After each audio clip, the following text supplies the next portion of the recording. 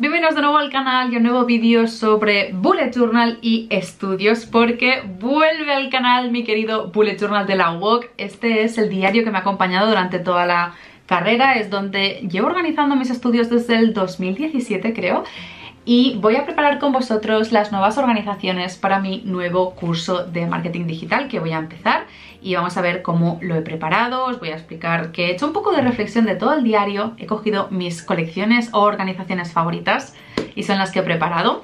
Veréis que no he hecho weeklies porque aún no he empezado bien bien el curso, así que poco a poco lo iré montando y organizándolo según lo vaya necesitando y usando.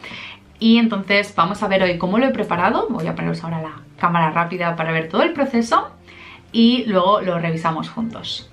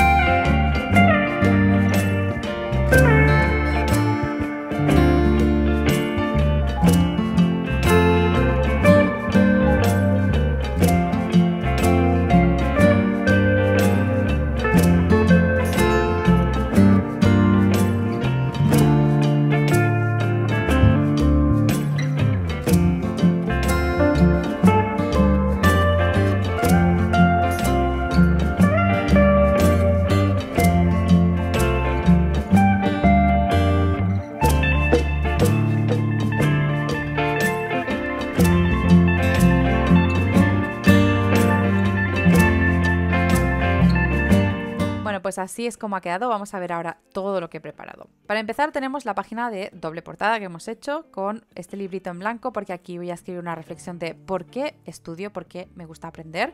Aquí he puesto un pequeño título de Nuevos Comienzos, curso 2021 y el título del curso que voy a hacer. Luego, esta página es un poco extraña porque podéis ver que le falta cositas por aquí, pero es que aquí quiero poner unas fotos de Hermione Granger que quiero imprimir en pegatina. Y luego esto es como una super quote de Hermione Granger, que es en plan, estudia como Hermione Granger. Y he hecho como una especie de pergamino así un poco de Harry Potter con el sillito.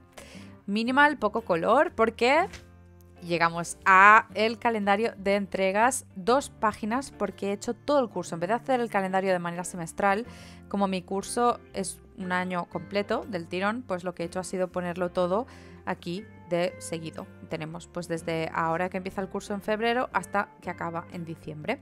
por eso están los diferentes meses aquí a doble página. Lo siguiente que tenemos es una página de organización en general del curso. Me voy a apuntar aquí el nombre de mi tutora, el nombre de las asignaturas, el nombre de los profesores y los mails de los profesores. Como no, no podía faltar mi querido color code. Mm, porque sabéis que yo funciono mucho con lo de los colores, así que he hecho pues entregas, organización, inicio packs, to-do packs, lecturas, vídeos, debates y mirar el foro. En la siguiente página digamos que empezamos el curso, empieza el semestre y es una de las organizaciones mensuales que planeo ir haciendo. Me he hecho el calendario de febrero y el de marzo porque empezamos aquí a mediados para tenerlo todo un poco organizado, he dejado un espacio por si tengo que apuntarme cosas y aquí me haré una mini lista de las entregas que tengo para estos dos meses. Siguiente página pack tracker del curso. Aquí me voy a apuntar todas las packs que voy a ir entregando, cuando empiezan, cuando se entregan, el plazo de días que tengo y aquí marco si está preparada, revisada y entregada. En esta página me he puesto una eh, sticker de estas, bueno, es un posit de horario que tengo desde hace mucho tiempo. No me acuerdo la página, mm, os la buscaré, pero intentaré dejaros el enlace abajo. Pero bueno, es una pegatina de, horario súper chula. He puesto un poco de washi tape para hacer como la pestaña y poder llegar a esta página rápido para poder llevar aquí el tracker. Y en este espacio de aquí lo que haré será hacer una tabla con las diferentes notas. Lo que pasa es que aún no sé qué asignaturas tendré. Sé que el curso se divide como en dos partes mayoritariamente, pero no sé en concreto las asignaturas de cada cosa, por lo tanto no he podido poner ni el número de notas ni nada porque aún no lo sé. Cuando lo publiquen todo en el campus lo iré rellenando y esto lo veréis en un próximo study blog porque os voy a grabar mucho. Y eso es todo lo que he preparado para este inicio de curso. Más adelante si queréis os haré un update porque mi idea es hacer mini organizaciones mensuales y weeklies, weeklies, weeklies porque es como mejor me organizo. En fin, este señor Bullo lleva ya mucho tiempo conmigo, lleva desde el 2017 empecé este diario cuando estaba estudiando la UOC y ya estamos en 2021. Ah. Creo que quizás con este curso ya lo acabe, que es bastante tocho. Por cierto, la libreta es una Moleskine de las grandes que me gusta porque es de tapa blanda y al ser más grande es más práctica porque la tengo siempre en el escritorio, no me la llevo a ningún lado.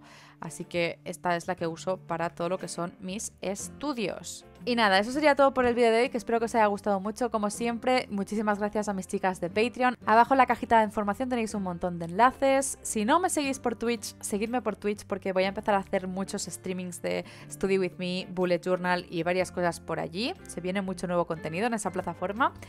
Y nada, si queréis ver más vídeos exclusivos, más weeklies, si queréis más vídeos cada mes, si queréis recibir algunos beneficios extra, no dudéis en mirar mi página de Patreon porque estamos creando una bonita comunidad ahí, somos unas cuantas y os puede interesar ver todo lo que tenemos por ahí. Bueno, pues así ha quedado, espero que os haya gustado mucho el vídeo. No olvidéis dejarme abajo en comentarios sugerencias para vídeos. ¿Queréis ver más actualizaciones mensuales o mm, cada dos, tres meses de este diario para ver cómo lo voy usando? Decídmelo en comentarios. Y nada más, os recuerdo que abajo en la cajita de información y por aquí os dejo los links a todas las redes sociales donde me podéis encontrar. También estoy en Twitch ahora haciendo directos de estudio, bullet journal y más. Y os recuerdo que también tenéis abajo el enlace de la tienda online de Hackme, mi marca de papelería, que vamos a abrir la tienda el día 1 de abril y estoy súper contenta y súper emocionada por todo lo que se os viene. Así que nada, que espero que os haya gustado el vídeo y nos vemos en el próximo. Adiós.